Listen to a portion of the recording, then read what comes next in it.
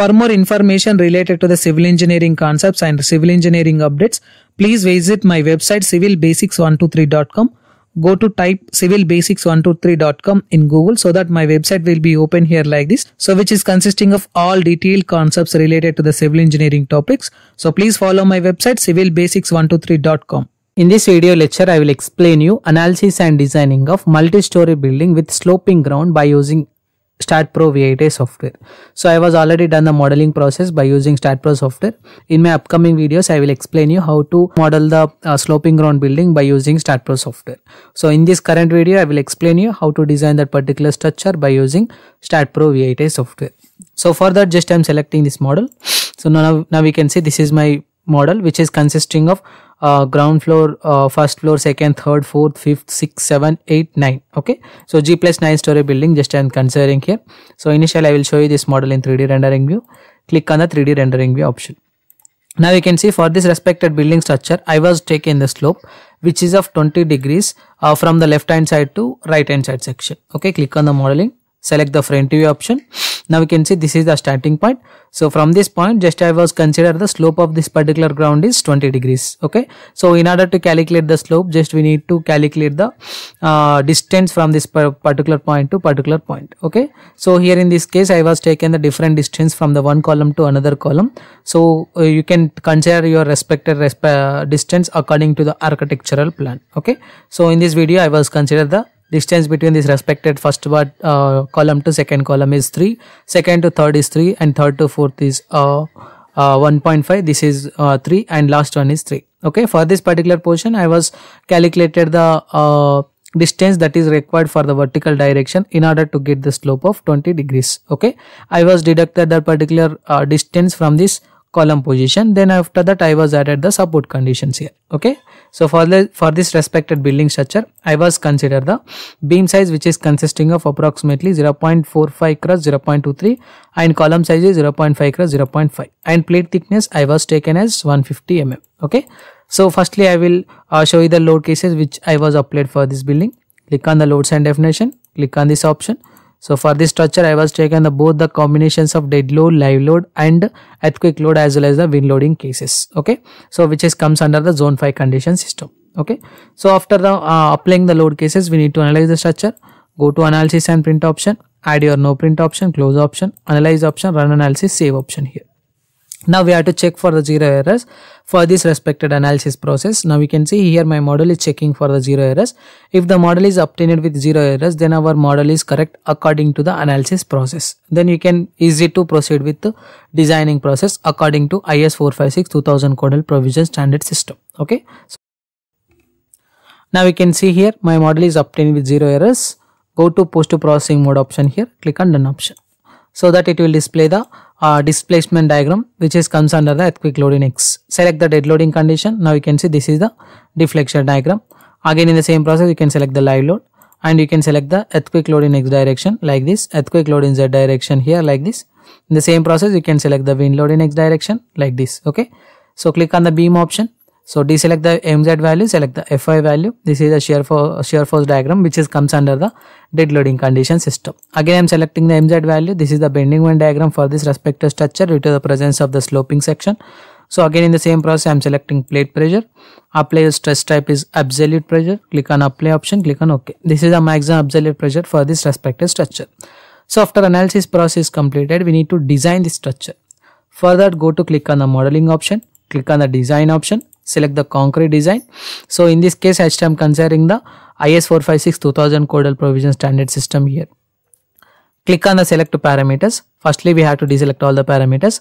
From this we need to select the com uh, compressive strength value fc yield strength yield strength of shear reinforcement maximum main maximum secondary md1 md2 and clear click on ok. Again we have to select the defined parameters.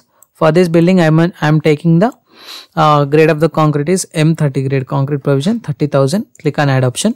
Again I'm selecting FY main which is comes under the HYSD bars of 500 grade 500,000 click on add option.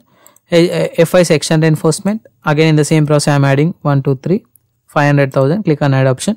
Maximum main just I'm selecting 16 mm diameter bar. Click on add option. Maximum secondary, just I'm selecting 12 mm diameter bar, click on add option. MD1, just I'm selecting here as 12 mm diameter bar, click on add option. MD2, click on add option, close option. Select the commands option, click on design beam command, click on the design column command, click on the slab element command and take off command finally. Okay, click on add option, close option.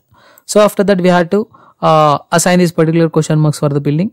Select this FC by using assign to view, assign yes, select F5 main by using assign to view, assign yes option.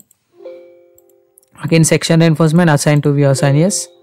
Select uh, maximum main, assign to view, assign yes option.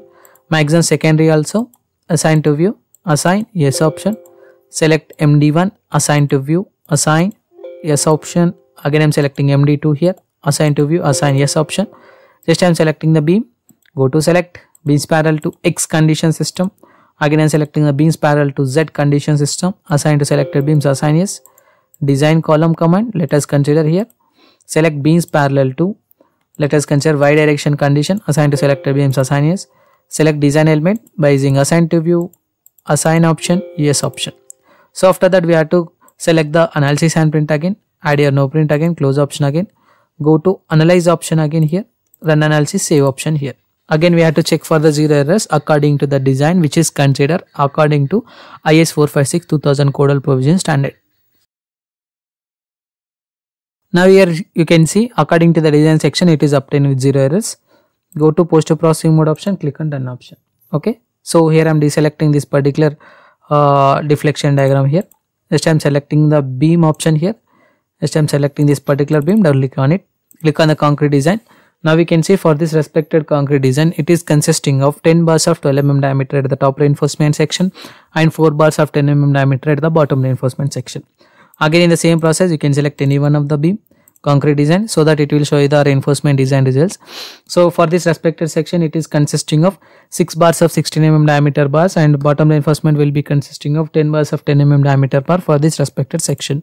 In the same process I am selecting the column here double click on it click on the concrete design for this respected section it is consisting of 28 numbers of uh, 16 mm diameter bar that is required for this column construction which is consisting of 550 cross 550 dimensions.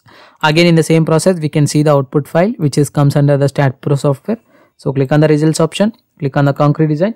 So it will be consisting of complete details about the co concrete design results which is comes under this particular section. Okay? So after the designing process completed we need to design the foundation so for that firstly we have to click on the foundation design select the load cases which is comes under this particular consideration. So you can uh, select the load cases for the designing of the foundation according to your consideration. Click on include option. Click on the run STAAD foundation. The fixed supports which is comes under this particular uh, uh, sloping ground building will be directly imported to STAAD foundation software. So here you can see all the fixed supports are imported here.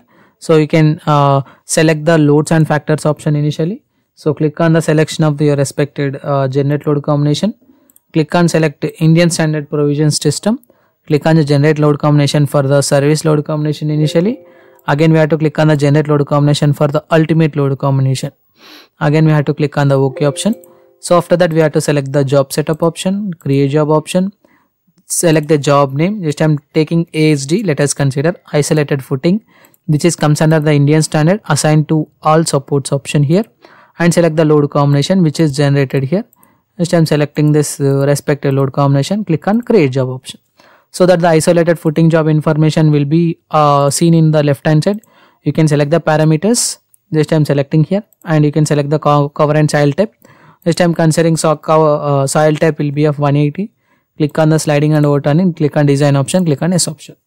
So that it will start designing your respected isolated footing according to IS 456 2000 codal provision standard system so you can select any one of the foundation just I'm selecting 253 which is consisting of all detailed calculation part which is comes under the isolated footing.